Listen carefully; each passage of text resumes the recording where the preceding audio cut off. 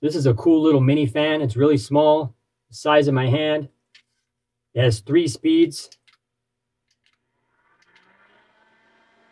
Blows pretty good too for how small it is. You can turn it off by just going all the way through with the on or on any speed. You can turn it off with the off button.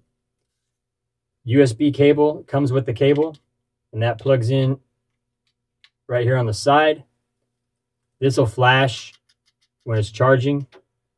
It's really simple. That's about it. There's a battery in the back.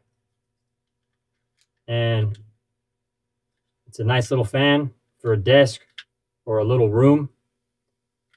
I like it. Have yourself a great day.